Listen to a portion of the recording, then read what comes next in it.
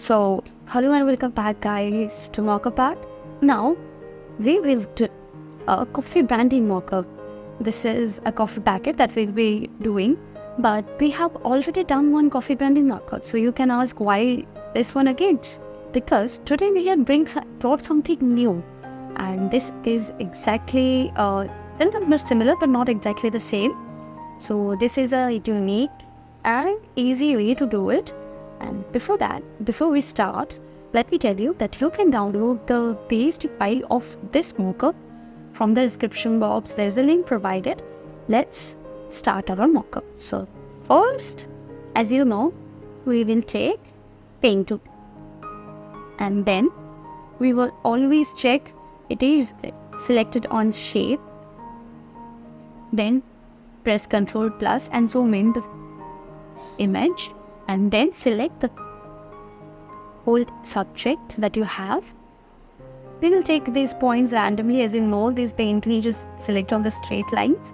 So later we'll always have to make it prominent with the curve uh, add anchor point tool. So right now we will just roughly select the object. Observe me carefully while doing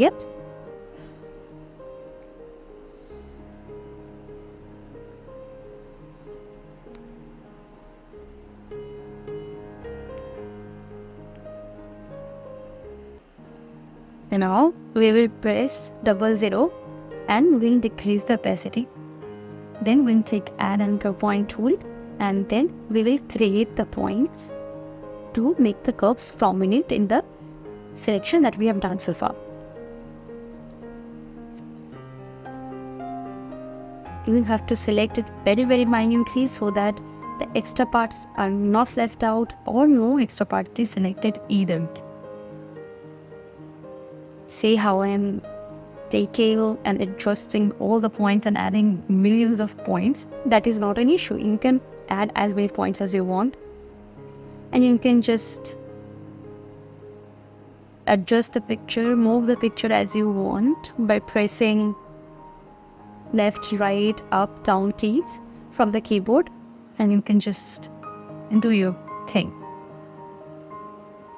Wait, just make sure that you select all the curved areas properly.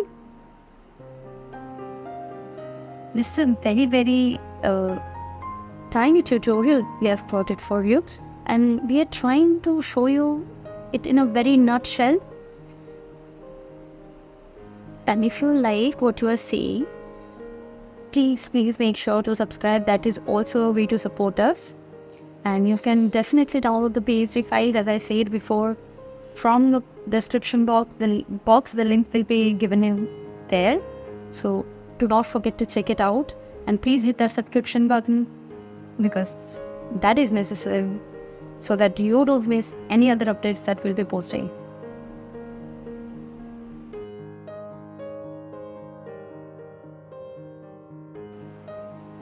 So as you can see here i am making the curves I'm taking one point, I'm taking several points actually, and then I'm making the curves very prominent and doing a fine tuning just so it, later when I work on this, it looks realistic and no part is left out. Now, the part we will be placing our smart object in is has been selected and then we now take a smart object, uh, the rectangle tool, we will draw it over it and then we'll just change the color just so it understand it and then we will right click on the layer and convert it to smart object and then we will decrease the opacity a little. And then we will press Ctrl T and it will be transformed and then we will right click on the shape and select distort and then you will be able to adjust the rectangle. And then these four points of this rectangle we will place it on the four points of the coffee bag and then we will press warp Again, by pressing right click on it, we will select warp and then with mouse, we will just adjust the point by placing it on top of the coffee sack and then take an extra grid. The place you need to increase or decrease, the place you need to adjust in one word that uh, you can just take a grid and adjust the width of it with it. Then at the down also we'll take another grid. The moment you select warp, this option will be available by this grid. Selecting this grid will be there, option will be available. And then we will, after we have done the warping part, now we will press Ctrl and select the shape and then we will select on mask. We have pressed Ctrl, shape and then mask. So when we do that, the whole smart object will be masked. It will be wrapped around the your object and then we will press the design that we have already selected before on the smart object. Press Ctrl T and adjust the picture, adjust the size, then press then press the right or save the image so that it is updated in the main picture. Once you're done, then click on the mask and then click on the main layer. Then press Ctrl J. So you will have a full uh, coffee bag in a separate layer. Alright, without the background. There press two more Ctrl J's, Ctrl Z and another Ctrl J.